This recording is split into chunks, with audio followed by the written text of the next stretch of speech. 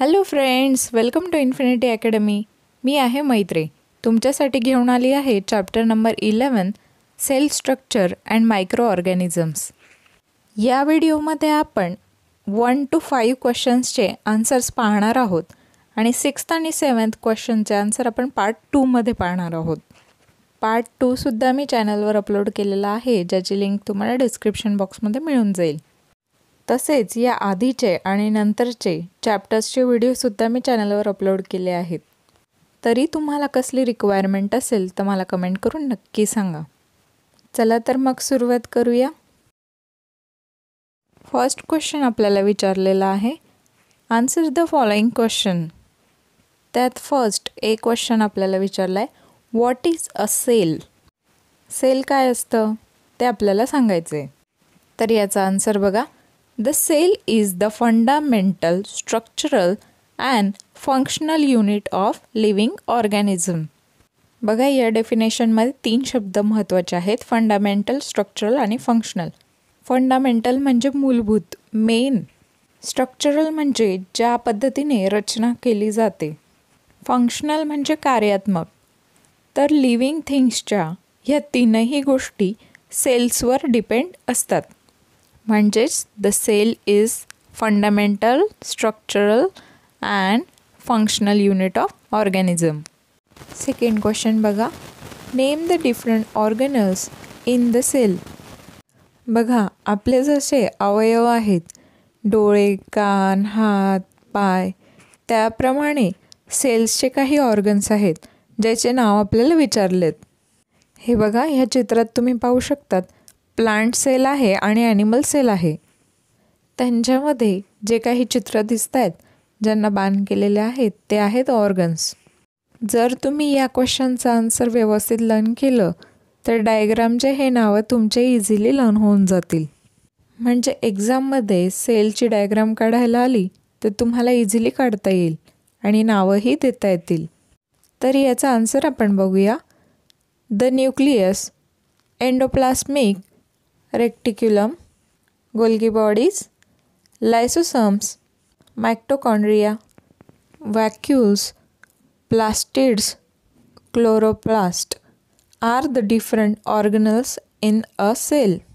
हे नावं जरा नवीन आहेत पण तुम्ही यांचे उच्चार आणि स्पेलिंग्स जर परत परत बघितले तर लर्न होऊन जातील. नेक्स्ट क्वेश्चन बघा. What are micro organisms micro organisms नेमकं काय आहे? याचा आन्सर आपण बघूया.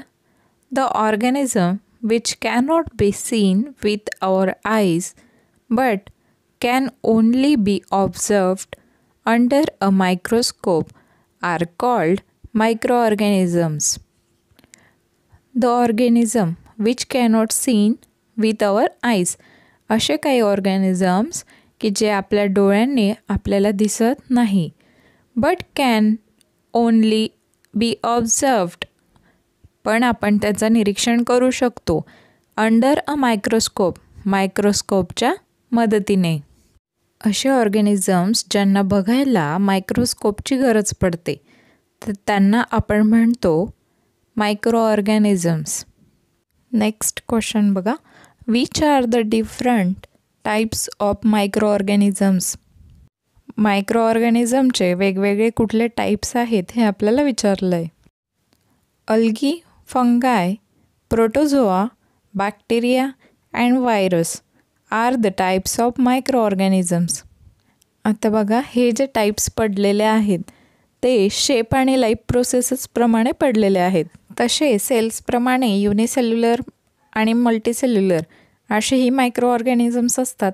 त्याचप्रमाणे काही युजफुल मायक्रो ऑर्गॅनिझम्स असतात काही हार्मफुल मायक्रो ऑर्गॅनिझम्स असतात.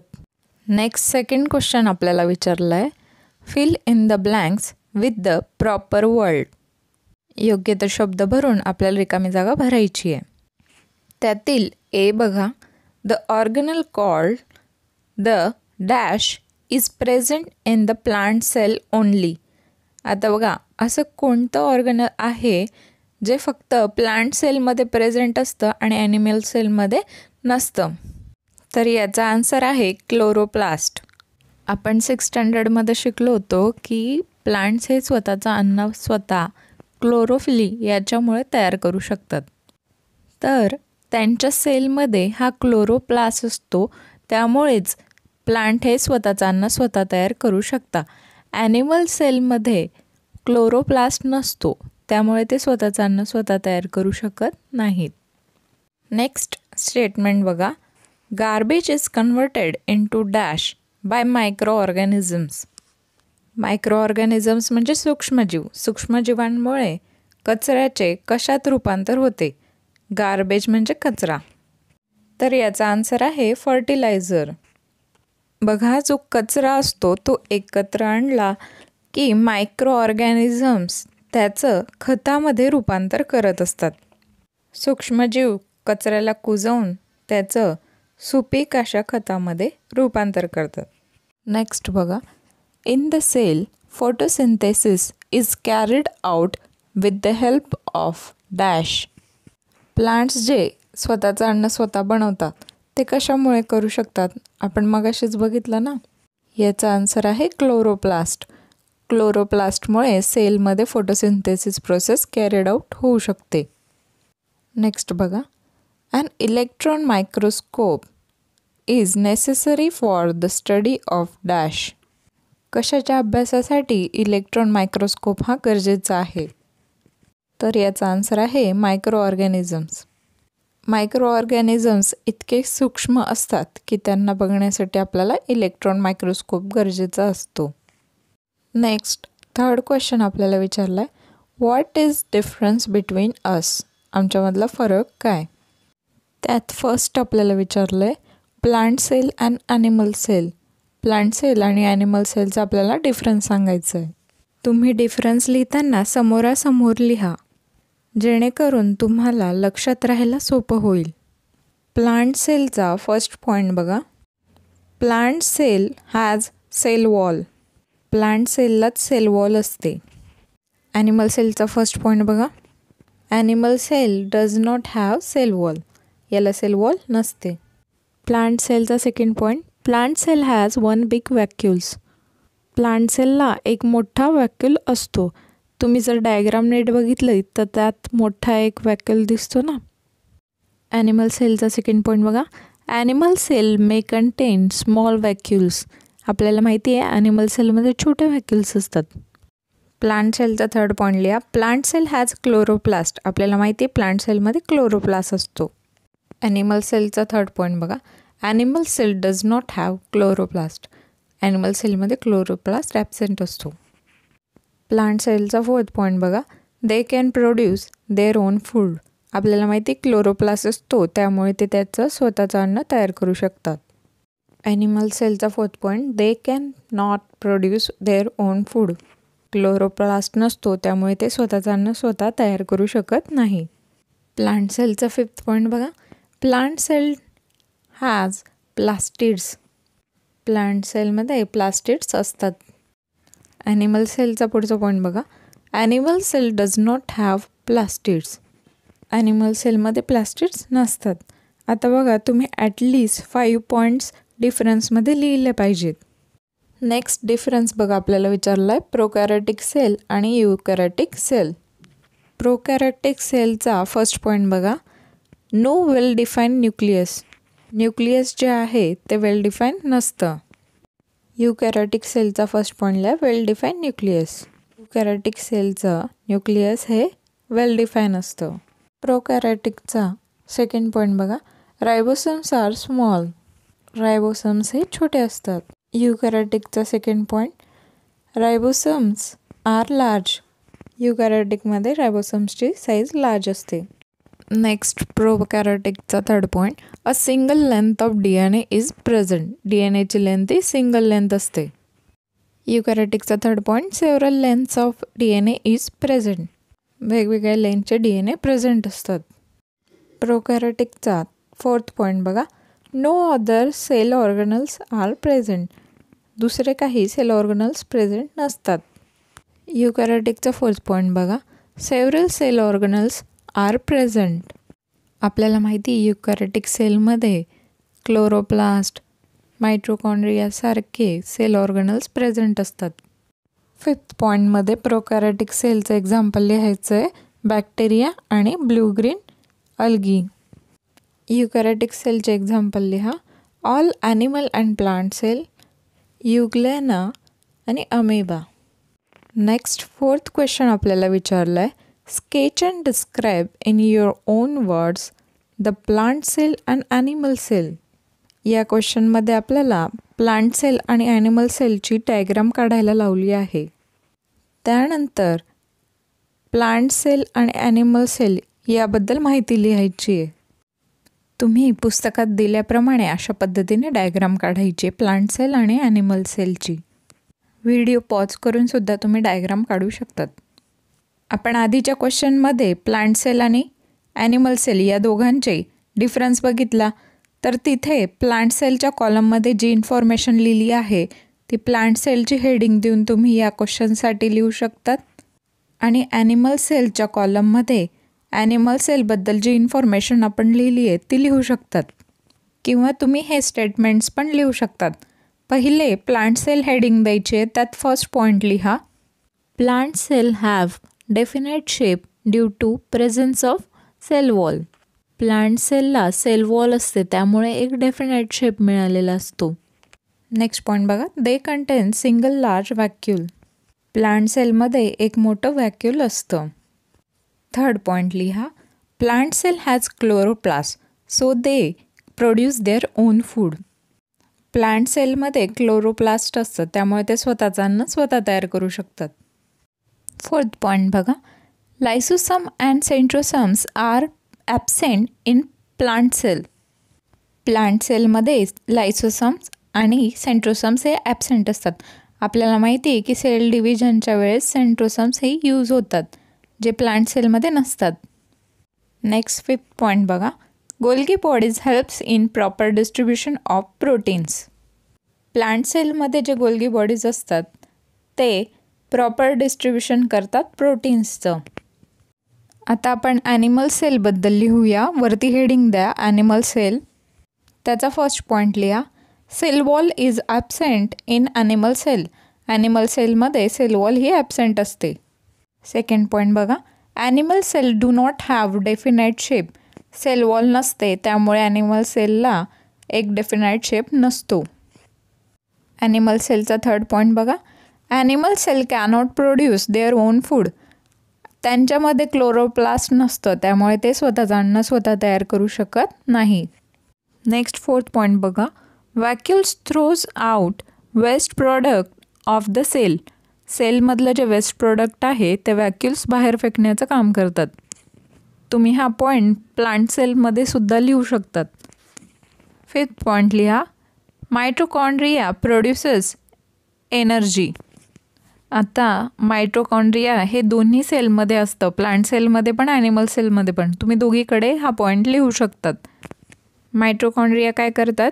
तर ते एनर्जी प्रोड्यूस करायचं काम करतात. त्याच्यामुळे आपण त्याला पॉवर हाऊस म्हणत असतो. सेलचं पॉवर हाऊस अशा पद्धतीने तुम्ही फोर्थ क्वेश्चनचा आन्सर लिहायचं आहे. नेक्स्ट फिफ्थ क्वेश्चन बघा. Explain the uses and the harmful effects of micro organisms micro organisms जे आहेत त्यांचा उपयोग लिहायचा आहे आपल्याला आणि हार्मफुल इफेक्ट काय आहेत ते सांगायचे आहेत. सगळ्यात पहिले आपण युजेस बघूया. Uses of micro organism heading द्या. फर्स्ट यूज बघा. Micro organism decomposes the garbage in the soil micro organism काय करतं? जे गार्बेज आहे जो कचरा असतो त्याला कुजवायचं काम करतात. कशामध्ये? मातीमध्ये. त्यामुळे माती फर्टाईल होते सुपीक बनते आणि तिचा उपयोग झाडांना होत असतो. आणि जर मायक्रो ऑर्गॅनिझम्सने डिकम्पोजच नाही केलं गार्बेज तर कचरा किती वाढेल? त्यामुळे हा त्यांचा फर्स्ट यूज झाला. सेकंड पॉईंट बघा. Micro organisms present in nodules of leguminous plants convert atmospheric nitrogen into its compounds which increases the fertility of soil शेंगांसारखे मुळं असलेले जे प्लांट्स असतात तर त्यांच्याजवळ जे मायक्रो ऑर्गॅनिझम्स असतात ते काय करतात? नायट्रोजनचं कन्वर्जन करतात कंपाऊंडमध्ये मग कुठलं नायट्रोजन? जे ॲटमॉस्फिअरमध्ये नायट्रोजन असतं ते.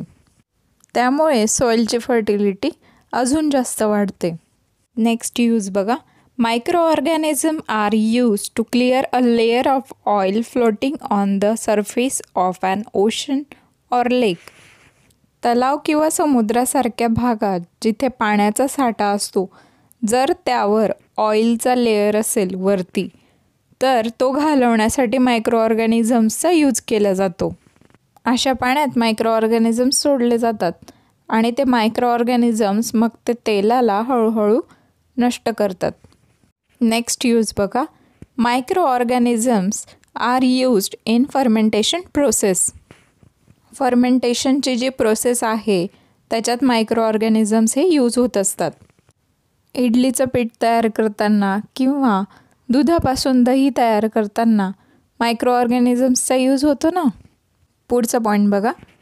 Microorganisms are used in milk products like butter buttermilk cheese paneer etcetera microorganisms हे दुग्धजन्य पदार्थ तयार करण्यासाठी वापरले जातात. तुम्हाला एक्झामला मायक्रो ऑर्गॅनिझम्सचे फक्त यूजेस असाही प्रश्न येऊ शकतो. म्हणून मी तुम्हाला एक्स्ट्रा पॉईंट्स देते. नेक्स्ट पॉईंट बघा. Microorganisms are used for production of antibiotic and vaccine जेव्हा व्हॅक्सिन्स तयार केले जातात किंवा अँटीबायोटिक तयार करतात त्यावेळेलासुद्धा मायक्रो ऑर्गॅनिझम्सचा यूज केला जातो. हे आपण युजेस बघितले. आता आपण पाहणार आहोत harmful effects of microorganisms first harmful effect बघा.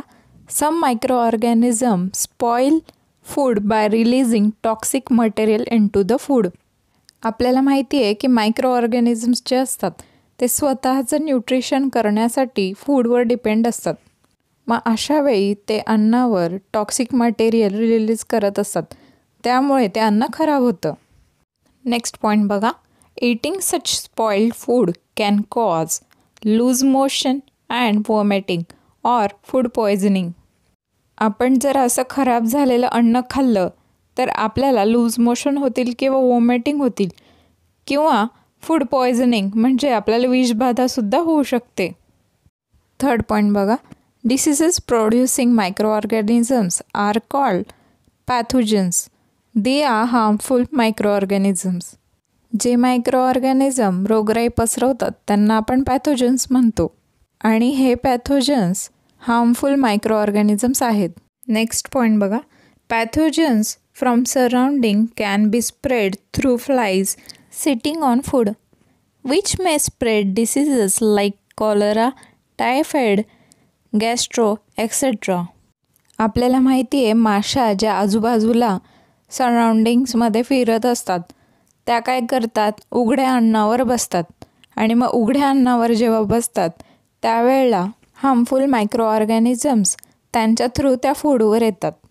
मग कॉलरा सारखे आजार पसरतात. नेक्स्ट पॉईंट बघा. Fungus grows on moist food can spoil food आता बघा ओल्या अन्नावर जी बुरशीची वाढ होत असते त्यामुळे सुद्धा अन्न हे खराब होतं. लास्ट पॉईंट बघा some microbes which causes diseases like malaria yellow fever chikungunya etcetera can be enter through a female mosquito जे microbes malaria yellow fever chikungunya असे आजार पसरवतात ते मॉस्किटोज थ्रू आपल्या शरीरात एंटर करू शकतात. हे आपण पाहिले question number one two three four and five यानंतरचे question number six आणि सेवन आपण नेक्स्ट व्हिडिओत पाहणार आहोत. याच्या पुढचे व्हिडिओसुद्धा मी चॅनलवर अपलोड केलेले आहेत ज्याची लिंक डिस्क्रिप्शन बॉक्समध्ये तुम्हाला दिलेली आहे. अशाच काही व्हिडिओसाठी चॅनलला सबस्क्राईब करा आणि तुमच्या फ्रेंडसोबत नक्की शेअर करा. व्हिडिओला लाईक करायला विसरू नका. थँक्यू